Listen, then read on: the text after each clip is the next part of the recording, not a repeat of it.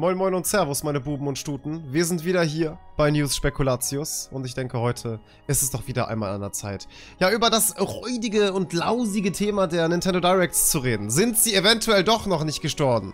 Sind sie eventuell doch noch nicht für tot erklärt worden? All das und vieles mehr werden wir heute herausfinden, denn es sind Gerüchte aufgetaucht, dass es eventuell im Juli eine Direct geben soll. Was dahinter steckt und, ja, ich sag mal, wie kredibil das alles ist, All das und vieles mehr in diesem Video. In diesem Sinne, lasst gerne einen Daumen nach oben da, um das Video zu supporterisieren und äh, ja, abonnierisieren sie doch gerne hier rein für die kompletten Kicks und äh, ja, für mehr, eventuell mehr Nintendo Directs äh, in der Zukunft. Ja, ich hatte vor einigen Wochen mal darüber berichtet gehabt, dass es eventuell gar keine Directs mehr geben könnte in Zukunft.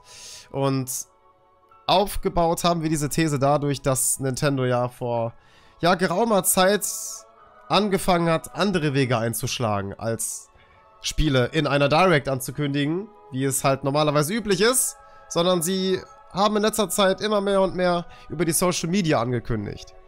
Über die ganzen Social Media Kanäle, Instagram, vor allen Dingen auch Twitter. Und ja, das beste Beispiel dafür war ja Paper Mario, so Origami King, das ja am 17. Juli rauskommt. Dieses Datum werden wir uns für gleich nochmal ein bisschen merken, Brüder. Aber das wurde am 14.05. angekündigt. Also an sich schon vor fast zwei Monaten und seitdem gab es halt keine Direct. Und wir sind durch den E3-Zeitraum durchgeschritten. So, äh, das müsste... Ja gut, also es gab ja dieses Jahr keine E3, aber ihr wisst, was ich meine. So dieser Zeitraum, wo sich sehr viele Spieleentwickler und ähm, ja auch generell Gaming-Firmen gedacht haben, wir kündigen mal äh, Objekt XY an, Konsole dies, äh, Konsole das, Spiel dies und, und jenes und äh, ja, einige davon haben wir auch schon gesehen, diese Präsentation. Von Sony zum Beispiel oder von vielen, vielen weiteren auch. EA, da haben sie ja auch Apex angekündigt gehabt. Ist ja alles im letzten Monat passiert. Lange Rede, kurzer Sinn. Von Nintendo war im Juni keine Spur. Aber ich habe Ihnen ja gesagt, es gibt einen neuen Hinweis oder beziehungsweise ein, ja, ähm, es wurde ein Stein ins Rollen geworfen. Oder wie sagt man dieses Sprichwort nochmal genau? Der Stein wurde ins Rollen gebracht auf Twitter durch den, ja, User Kellios. Das ist ein, ich glaube, französischer, ähm, Redakteur auf einer Pokémon-Seite oder so. Ich bin mir aber nicht so ganz sicher. Der betreibt so eine Pokémon-Fan-Seite. Ähm, Poke Carlos müsste das, glaube ich, sein. Und am 30. Juni hat der gute Jeff Grubb auf Twitter nochmal gepostet, jo, was erwartet uns so, ne, was ist so der Terminplan, das sieht ja alles auch wieder nach sehr viel Chaos aus, ne, und ähm, man sieht hier Ubisoft E3 kommt am 12. Juli, ne, also man sieht diese ganze Spiele Ankündigungszeitraum hat sich halt von Juni auf, ich glaube sogar bis August gezogen. Das seht ihr jetzt zwar gerade nicht, aber hier seht ihr zum Beispiel August. Und hier sind sehr, sehr viele Angelegenheiten, die uns noch im, Juni, äh, im Juli erwarten. Aber ihr seht, auch Nintendo ist hier nicht dabei. Ja. Sogar Gamescom ist, sogar die Gamescom wird erwähnt. Und Wildcard Nintendo, who knows what it will do. Ganz unten, aber natürlich auch ohne Zeitrelease. Und da hat der äh, Kelios, auf den wir jetzt zurückkommen, ähm, geschrieben, You forgot Nintendo Direct in July. Doppelpunkt 3. Hm. Ja, der Smiley ist sehr je, aber worauf ich hier hinaus will, ist, dass, ähm, naja, er halt einfach gerade etwas in den Raum geworfen hat und etwas, und das war der Stein, der ins Rollen gebracht wurde. Ins Rollen geworfen worden ist, ah ja. Ähm, ja, und zwar, er sagt, yo, die Direct, äh, die nächste von Nintendo, äh, hast vergessen, trag das mal besser nach, du Schwein, im Juli. Und äh, wie kommt er jetzt da drauf? Wie, wieso sagt er out of context einfach so Juli und 300 Leute liken das? Warum ist das so? Weil der Bruder scheinbar sehr kredibil zu sein scheint. Ich weiß gar nicht, ob ich seinen Namen in der letzten Zeit überhaupt mal aufgeschnappt habe, aber er ist man könnte sagen, ein Leaker. Ja, er ist jemand mit internen Quellen zu Nintendo und seine internen Quellen zu Nintendo seien wohl sehr kredibil und ähm, ja, diese Insiderquellen, die er hat, scheinen ihm wohl vermittelt zu haben, yo, im Juli kommt eine. Ihr habt gedacht, die Directs sterben. Hm, falsch gedacht. Kommen im Juli raus. Trottel.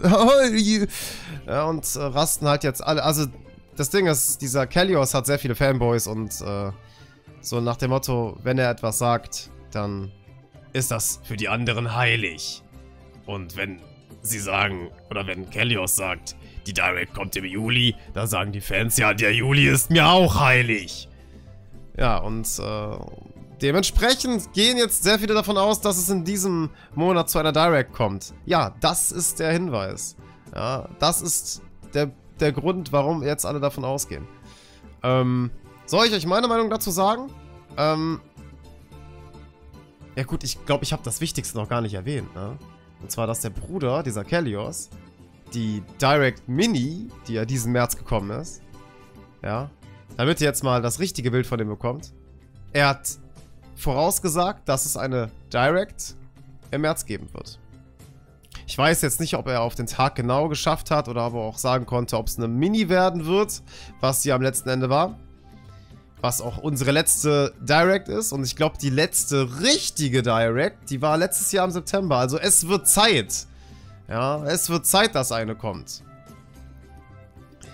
Also, viele gehen halt eben davon aus, darunter auch seine Fanboys, dadurch, dass der Bruder halt eben schon die Direct Mini im März voraussagen konnte, sagen jetzt alle, weil der Juli gesagt hat, Mashallah, es wird stimmen. Ob das stimmen wird, ah, wir gucken mal. Also ich würde es mir wünschen, so. Das wäre natürlich immer so das, ne, was, was soll ich euch sagen, wenn ihr sagt, Kai, meinst du, das ist echt? Glaubst du, jetzt kommt eine? Ich würde mir wünschen, es kommt eine so. Ich, hab, ich will auch wissen, was uns noch in diesem Jahr erwartet. So, ich, ich denke mir halt jeden Tag so, ja, es kommt doch nichts raus, was soll ich euch denn zeigen? So, was soll ich denn spielen, Mann? Jetzt kommt sie halt hier am 17. Juli, kommt sie halt jetzt hier Paper Mario, wo ich mir denke, auf geht's! Werden wir uns ziehen. Und äh, reinziehen vor allen Dingen auch. Aber, naja, wir wissen halt noch nicht, was in diesem Jahr kommt. Daher wäre es geil, wenn eine Direct kommen würde, die uns so ein bisschen sagt, was äh, 2020 noch kommt. Gerade so zur Weihnachtszeit. Und um da, ja, den Wind aus den Segeln zu nehmen, also wir müssen auch ein bisschen realistisch sein, ne? Vor ein paar Tagen habt ihr es vielleicht mitbekommen. Es gab eine Investorenkonferenz und auch dort ein internes Gespräch bei Nintendo, welche sie natürlich auch nach außen getragen haben und ein bisschen geflext haben mit diversen, ähm, ja, ich glaube Zahlen oder ich weiß gar nicht, ob es Zahlen waren, aber es waren Investorengespräche und da wurden auch ein paar Infos rausgehauen, aber wahrscheinlich wurde da auch wieder ein bisschen rumgeflext und äh, dort wurde natürlich auch gefragt, yo, was ist denn mit den Directs? Was ist damit? Man hat den Präsidenten von Nintendo, äh, der Mr. Furukawa, man hat ihn kontaktiert oder man hat ihn konfrontiert auch mit der Frage, was ist denn mit den Directs? Und er, ja, ich weiß nicht, ob er diese Frage gestellt bekommt oder bekam oder ob er es selbst angesprochen ähm, hat, das Thema der Directs. Jedenfalls hat er gesagt, die Directs seien effektiv, aber die Zeiten ändern sich. Und das soll halt bedeuten, ähm, ja, Directs erfüllen ihren Zweck, aber es gibt auch andere Möglichkeiten. Und naja, ne, wir sind halt jetzt im Jahr 2020. Da müssen wir ein bisschen gucken, ne, wie können wir das Ganze noch optimieren. Denn scheinbar ist die Form der Direct für Nintendo, äh, ist, wie gesagt, effektiv, aber geht besser. Sie haben es ja auch versucht in der letzten Zeit. Wie gesagt, der 14. Mai, da haben sie auch Paper Mario Origami King angekündigt. Wieso hat man das nicht in einer Direct äh, ankündigen können? Oder wieso hätte man den Release nicht verschieben können? Also den Release der Ankündigung vom 14.05. nicht auf die nächste Direct schieben können, um halt die Direct mit noch mehr Content zu füllen. Hm, weil sich vielleicht Zeiten ändern und man sich denkt, ja, so ein Social Media Tweet mit einer Ankündigung, ach, kommt jetzt in zwei Monaten raus. Hier, gönnt euch vielleicht ist das effektiver als eine 30 Minuten Konferenz oder Präsentation. Äh, ich, ich weiß es nicht. Ich weiß nicht, warum das, warum ein, ein einzelner Tweet mehr Gehalt haben sollte als eine komplette Direct, wo man auch irgendwie mehr als nur einen Trailer zeigen kann, sondern auch wieder, wie man es von Nintendo kennt. Sachen erklärt, Sachen genauer zeigt, die Entwickler sprechen lässt. Finde ich halt, klar, natürlich ist das halt langsamer vom Output her, als jetzt einen Trailer rauszuhauen. Aber man will ja auch ein bisschen was dazu wissen. Aber Nintendo hat sich das aufgeteilt. Ja, ich wollte schon seit drei Minuten trinken. Ohne Witz, ich halte das Glas seit drei Minuten fest. Jedenfalls, Nintendo hat ja in der letzten Zeit auch, also in den letzten Tagen pushen die auf Twitter sehr, sehr viele Paper Mario Ankündigungen und so. Ähm, also Ankündigungen im Sinne von, die hauen Infos raus zum Spiel, zu gewissen Charakteren und so. Und zum Gameplay, zu den Mechaniken. Die hauen da einige Sachen raus. Aber irgendwie, ähm, ja, kann, können sie auch machen. Und man sieht auch, so teilen sie sich das ja auf. Also statt das in der Direct so per Trailer zu zeigen, nochmal zu erklären, was abgeht, mit einem Kommentar dahinter und äh, dann vielleicht noch Entwickler äh, äh, Kommentare einfangen oder was auch immer man da macht. Äh, gibt ja da viele Möglichkeiten. Ne? Muss man abwägen, was effektiver ist. Und das ist halt eben ein Konzept, das Nintendo jetzt scheinbar zu nutzen versucht. Und dort sagt man halt eben, ja, neue, bessere Konzepte und wir prüfen immer gerne alle Möglichkeiten, um die Information an unsere Kunden weiterzugeben. Also letzten Endes, Informationen werden weitergegeben an die Kunden und ähm, statt das Ganze, vielleicht denkt sich Nintendo halt eben auch, statt irgendwie das Ganze auf alle drei Monatszyklen so aufzusparen, dass eine Direct kommen kann, punktuell macht man das halt eben dann jetzt. Dann macht man es halt eben jetzt punktuell. Ah ja. Na, und wir dürfen noch nicht vergessen, ja, also äh, nochmal hier zu Covid-19. Nintendo hatte ja auch gesagt, dass dieser Covid-19-Ausbruch ähm, für Nintendo jetzt auf Langzeit, wenn nicht noch ein weiterer Lockdown und ein weiterer Ausbruch kommt, dann wird das Nintendos Geschäftsjahr dieses Jahr nicht beeinflussen. Und da war meine äh, Intention direkt, ja Jungs, Bruder, dann haut doch mal jetzt die Direct raus. Und mal gucken, ob es jetzt im Juli, im Juli soweit sein wird. Was denkt ihr?